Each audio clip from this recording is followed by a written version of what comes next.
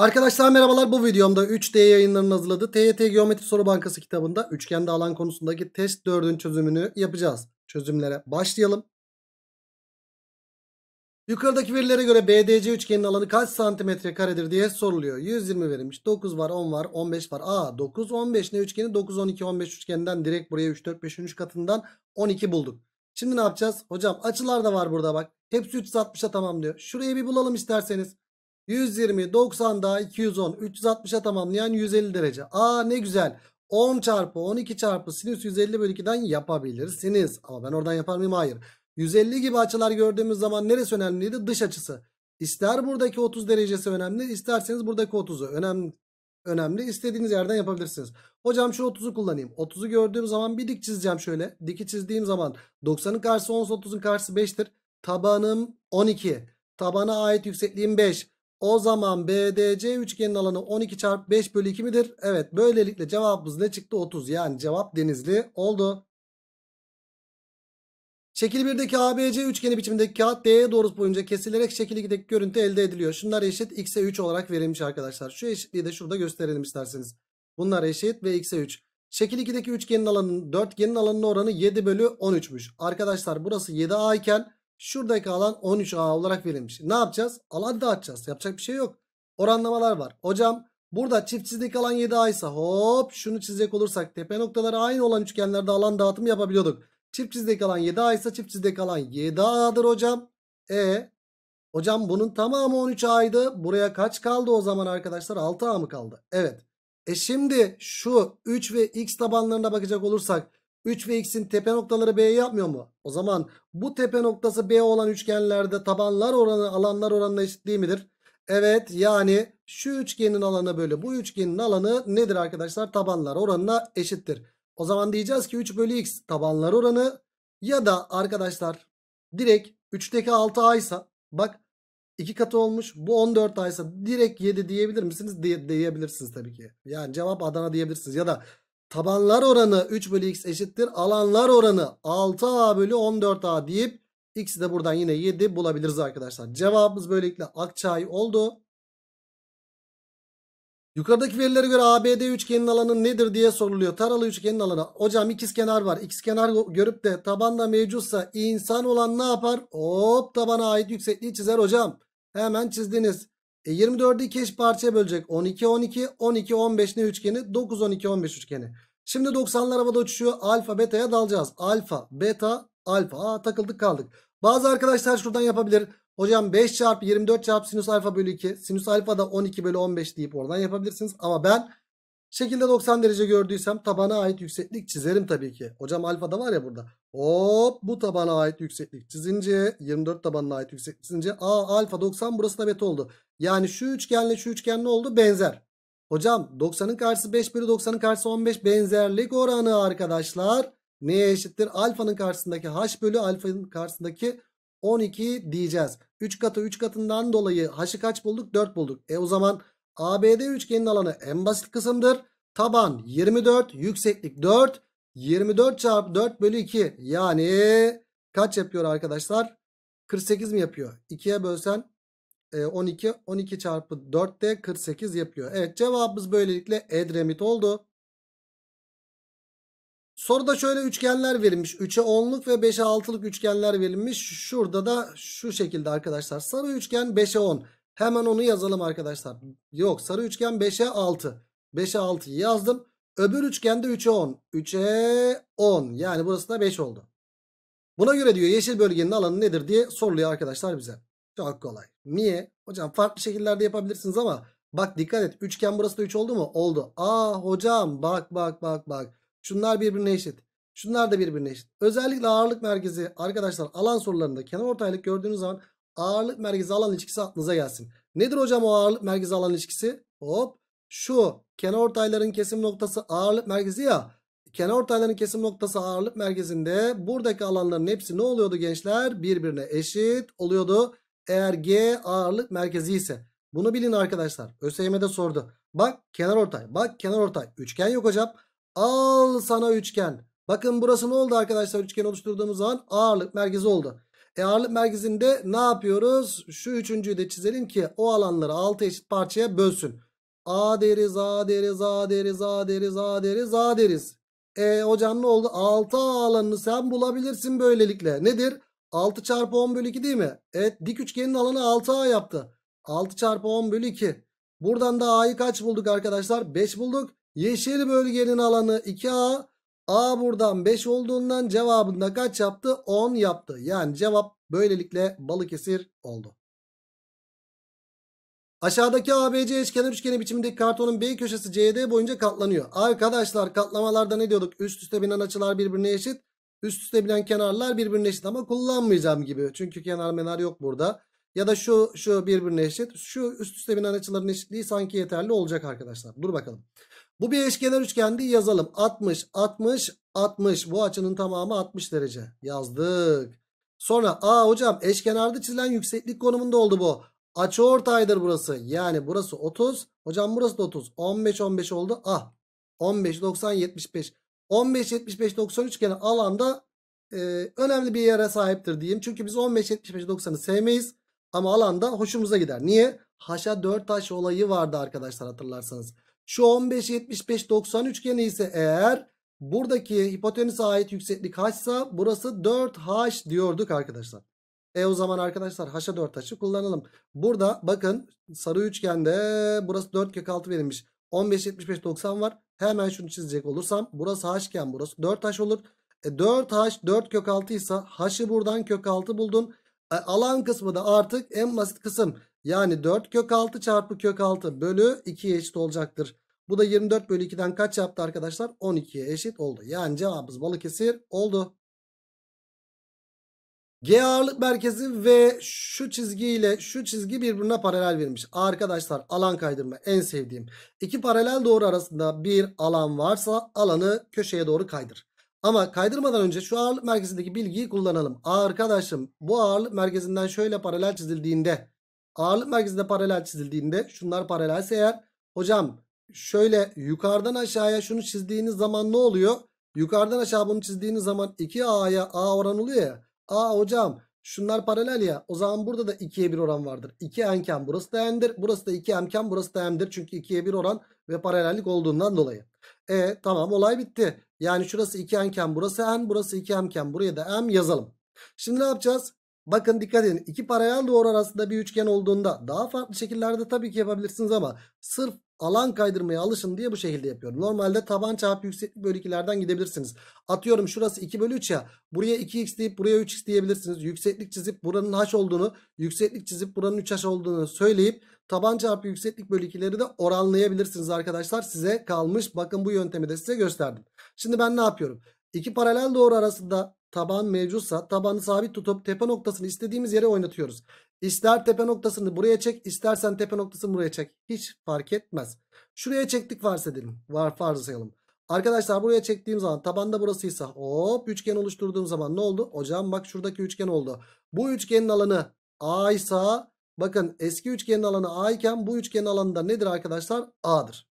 E tamam burası A ise bakın şu alana A dedim. Dikkat edin DEF'ye A dedim arkadaşlar. Alan kaydırdım. İşte alan kaydırdığım zaman o tabanlı ve şu tepe noktalı üçgenin alanı da A yapıyor. M'de kalan A ise 2M'de kalan kaç yapar? 2A yapar. Bak oranlamalar var. Alan dağıtacağımız belli. Dağıtıyoruz. M'de kalan A ise 2M'de kalan 2A yaptı. Aa hocam 2N'e N oran var. 2N'deki alan 2A ise N'deki alan A demeyin sakın. Çünkü 2N'den N'e geçerken tepe noktaları neresi oluyor arkadaşlar? Burası oluyor. Bak 2N'den N'e geçerken N'in tepe noktası burası değil mi gençler? Şöyle baktığınız zaman. Bakın o yüzden 2N'deki alan 2A değil de tamamı 3A arkadaşlar. 2N'deki 3A ise N'deki alan ne yapacak? 3A bölü 2 yapacak arkadaşlar.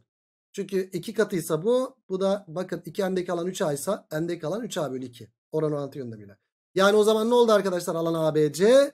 3A artı 3A bölü 2. 3A artı 3A bölü 2 yaptı. Yani oranlamaya bakacak olursak yukarısı A bölü aşağısı 9A bölü 2 olduğundan dolayı ters çevirip çarptığımızda cevapta A'larda sadeleştiğinde cevabımız da ne yaptı? 2 bölü 9 yaptı. Yani cevap Ceyhan oldu. ABC bir üçgen ve oranlamalar verilmiş. Burası A, burası da A, buraya da 2A diyelim o zaman. AF uzunluğu A. sonra EC uzunluğu A sonra EF uzunluğu 2A verilmiş. KD uzunluğu B iken Ali Kara uzunluğu nedir burası? 3B burası da 3B olarak verilmiş arkadaşlar. 3B ve 3B verilmiş. Şimdi ne yapacağız? Alan dağıtacağız kardeşim. Birincisi şu şeyden yapabilirsiniz arkadaşlar. Hemen kısaca göstereyim. Hocam aynı tepe noktasına ait üçgenler gördüğünüz zaman biri bu mesela, biri bu mesela, biri de en büyüğü mesela. Katsayılar çarpımıyla üçgenlerin alanlarını orantılı bir şekilde söyleyebilirsiniz. Hocam 1 kere 3 3 burası 3A iken şu üçgene baktığın zaman 4 kere 3 12 burası 12A olacak 9A olacak burası. Büyüğüne baktığınız zaman da hocam 4A burası 7 burası 4 kere de 28. Tüm alanda 28A yapar. Tüm alanda 28A deyip e, sonra sonuca ulaşırsınız arkadaşlar. Alan DEFB'yi şey demiş. Burası 12A ise bakın 12A ise tüm alanda 28 ise 28'den 12 çıkınca kaç kalıyor arkadaşlar? Değil mi? Şurası 3, 6, 7. 2, 3, 4. 4 kere de 28. Tüm alan 28A. 28'den 12 çıkınca 16 mı kalıyor? Evet buraya da 16A kaldı. Şimdi alan DEFK'yı DEFK'yı 9A'yı 27 vermiş. A buradan 3 olur. A buradan 3 ise BCED'nin yani 16A isteniyor bizden. O da 16 çarpı 3'ten neye eşit olacaktır? 48 olacaktır. Bir yol böyle.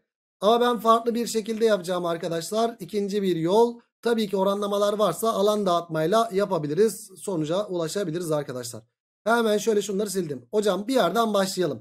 Mesela ister A'lara göre dağıtın isterseniz B'lere göre dağıtın. Hiç fark etmez. Hadi A'lardan başlayalım. Hocam A'da kalan A ise tepe noktası burası.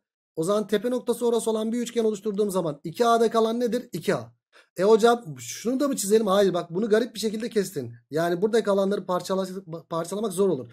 E böyle A 2A yazabildiğin kadar yazdın. Yazamadıysan diğer tarafa bak şimdi. Şimdi dikkat et. Hocam 3B'deki alan A, B'deki alanda A bölü 3 deme sakın. 3B'den B'ye bakarken bak B'deki boşluk burası ya. Tepe noktası burası değil mi? O zaman 3B'de tepe noktası orası olana kadar bakacaksın. 3B'deki alan 3A ise o zaman B'deki alan ne olacaktır arkadaşlar? 3B'deki 3A ise 3 katı. B'deki alan da 3B'deki alan 3A direkt aynı katı. Aynı katı burası da A olacaktır. Peki burada da bir 3B var. Hop şunu da şöyle çizersem burası da ne olacak?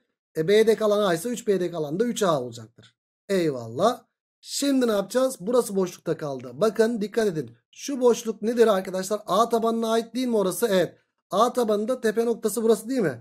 O zaman bakın 3A var burada. 3A'daki 3, 4, 5, 6, 7A yaptı. Eyvah eyvah. Şimdi 3A'daki alan 7A ise A'daki alan bakın şöyle söyleyeyim. 3A'daki alan 7A ise A'daki alan kaç yapar? 7 bölü 3 mü yapar? Evet. Ee, tepe noktası şurası olana kadar bakıyorum yalnız. Bakın 3A'da kalan 3A ise A'da kalan A demiyorum. 3A'daki ile A'daki tepe noktaları o zaman farklı olmuş olur. Tepe noktaları aynı olan üçgenlerde alan dağıtımı yapabiliriz. 3A'daki alan hop tamamı. Kaç A arkadaşlar? 7A ise o zaman A'daki alan da 7A bölü 3 yapar. Şimdi bizden ne isteniyor? Bakın 3A'yı. 3A'yı bize kaç vermiş? 27. A'yı buradan kaç buldun kardeşim? Ee, kaç? 9 mu buldun? Evet. Senden ne isteniyor? Dörtgenin alanı 3A artı 7A bölü 3 isteniyor. Yani 3 çarpı A 9 artı 7 çarpı 9 bölü 3 isteniyor. O da 21 yapıyor. 27 artı 21'den kaç yaptı arkadaşlar? Cevap 48 yaptı yine. Cevabımız böylelikle Denizli oldu. 6, 10 yani burası kaç yaptı? 8. E bizden şu üçgenin alanı isteniyor. E hocam şuraya alfa dersem 5 çarpı 8 çarpı sinüs alfa bölü 2'den sonuca ulaşırsınız. Ulaşırsınız. Kesinlikle ulaşırsınız. Ama alfa 90 ise ben buraya beta desem beta 90 iken burası da alfa oldu mu? Oldu. Sinüs alfa da belli mi? Belli. 8 bölü 10 yazıp 5 çarpı 8 çarpı sinüs alfa bölü 2'den sonuca ulaşırsın. Yalnız ben ne diyorum? Bir üçgende 90 derecede özel bir açı varsa üçgenin alanı %99.9 taban çarpı tabana ait yükseklik bölü 2'dir. E o zaman bu üçgenin alanı nedir? Tabanına ait yükseklik çizelim hocam. Bak çizdin. Alfa 90 ise burası da beta oldu mu? Oldu. Aa şu üçgenle şu üçgen ne oldu? Benzer oldu. Ne yapıyoruz? Aynı açının karşısındakilere bakıyoruz. 90'ın karşısı 5 iken 90'ın karşısı 10 olmuş. Oo. Benzerlik oranı 1'e 2. E o zaman alfanın karşısı h ise hocam alfanın karşısı 2h olacak burası. Yani h bölü 8 diyeceğiz. E, aynı açının karşısındakileri oranladık. 90'ın karşısı 5 bölü 90'ın karşısı 10. Alfanın karşısı h bölü alfanın karşısı 8. Ya da hocam 1'e 2 oran var. Alfanın karşısı h iken alfanın karşısı 2h olacak. 2h 8 ise h'ı direkt 4'te bulabiliriz. h buradan 4 geldi. Hocam h 4 ise eyvallah. Üçgenin alanında tabanımız 8 yüksekliğimiz de 4 olduğundan dolayı 8 çarpı 4 bölü 2 32 bölü 2'den kaç yapar? 16 yapar. Yani cevabımız böylelikle Edremit oldu. Yukarıdaki verilere göre AKC üçgenin alanı kaç santimetre karedir diye soruluyor. Şu üçgenin alanı soruluyor arkadaşlar bize. Ne yapacağız? Vallahi buradaki açı ortayları kullanacağız. Bir işimize yarar mı? Ne yapabiliriz burada? Ne yapabiliriz burada? Valla tabana ait yüksekliği bulmam lazım bir kere benim değil mi? Şu üçgende şekilde söylemim var zaten. O söylem her, her zaman geçerli. 90 derecede özel bir açı varsa üçgenin alanı kesinlikle ama kesinlikle demeyeyim de %99.9 ihtimaliyle taban çarpı tabana ait yükseklikten çıkar mı? Çıkar. Hocam hocam hop bu tabana ait yüksekliği bulursam olay bitti. Bak soruda bu eksikmiş. Bunu çizdim kardeşim şöyle. Eyvallah. E hocam bunu çizdik. Bunu bulmaya çalışacağız şimdi. Şimdi bak verilen bilgileri kullan ve bulduğum bilgiyi kullan diye her zaman söylüyorum. E hocam bu açı ortay bak kola dik çizilmiş. O zaman diğer kolada sen bir dik çizeceksin. Yani buradan bir dik çizecek olursak arkadaşlar. Açı ortayda kollara çizilen dikmeler birbirine eşit değil midir? Biraz düzensiz çizmişim arkadaşlar. Şunu şöyle çizeyim isterseniz daha sağlıklı olsun. Şuradaki yüksekliği bulmaya çalışacağım. Açı ortayda kollara çizilen dikmeler birbirine eşit. Hatta ayırdıkları yerler de birbirine eşit. Eyvallah. E hocam burada da aynı şekilde açı ortay var burada. Bakın açı ortay kola dik çizilmiş. Diğer kola da ben bir dik çizecek olursam. Hocam bu da aynı şekilde. Şekil biraz düzensiz oldu arkadaşlar. Dengesiz oldu ama idare ediverin. Şöyle dik çizecek olursak bununla da bu birbirine eşit midir? Evet. Ve ayırdıkları yerler de birbirine eşit midir? Aynen öyle. E o zaman verilen bilgileri kullanalım. Hocam şunlar eşit. Aa bak ne çıktı? 90 90 90 bir dikdörtgen çıktı. Hatta şu eşit buraya. Bu eşit buraya. Hatta bir kare çıktı. Şuradaki eşitleri de kullanayım. Buraya A dersem burası da A mıdır? Evet. Hocam buraya 10 eksi A kaldı. E o zaman burası da 10 eksi A. Dikkat edin 18 eksi A yaptı burası. Yukarısı da 18 eksi A'dır. Hocam burası ne yaptı? 8 10 üçgeninden 6 yazmayı unutmuşum burası. 6 artı A arkadaşım burası. E burası da 6 artı A. Dikkat 6 artı A'ya 18 eksi A. Birbirine eşit değil mi? Evet. 6 artı A 18 eksi A'ya eşitse 2A eşittir 12'den A'yı buradan kaç bulursun? 6 bulursun. E A6 ise her şey çıktı. A6 ise burası 12 mi oldu? Evet. Şunun da şu birbirine eşit. O zaman burası da 12 oldu. Tabana ait yüksekliği bulmuş olduk mu? Olduk. Yani taban, tabanımız 10 iken yüksekliğimiz 12. 10 çarpı 12 bölü 2 kaç yapar? Cevap 60 yapar. Yani ee, cevabımız Ceyhan oldu. Zor bir soru mu? Aslında verilen bilgileri kullandığınız zaman zor bir soru değil. Direkt o verilen bilgileri kullandığınız zaman takır takır çıkan bir soru. Yukarıdaki verilere göre ABE üçgenin alanı nedir diye soruluyor arkadaşlar bize. 5 verilmiş 12 verilmiş 5 12 13. Sonra AD uzunluğu A iken hmm, CD uzunluğu da kaç verilmiş? Burası da 5A verilmiş. 13'ü kullanmayacağım galiba. CD uzunluğu 5A. Buraya 4A kaldı o zaman arkadaşlar. Eyvallah. Bu oranı kullanacağım. Oran kullanmak demek ne demek arkadaşlar? Şurada benzerlik kullanmak demek anlamına geliyor. Benzerlik kullanmak demek ya böyle olacak ya böyle olacak. Ama sayılar yine gıcık geldiği için ben buradan gitmeyeceğim. 1 bölü 5. 1 bölü 5 hocam. İşte 5A mesela 5 n eşittir 12 ise n 12 bölü 5 geliyor. Yok. Daha kolay bir yolu vardır. O zaman buradan oranı buradan kullanmayayım. Sonra dikkatimi çeken ne var arkadaşlar? Burada dikkatimi çeken şu var.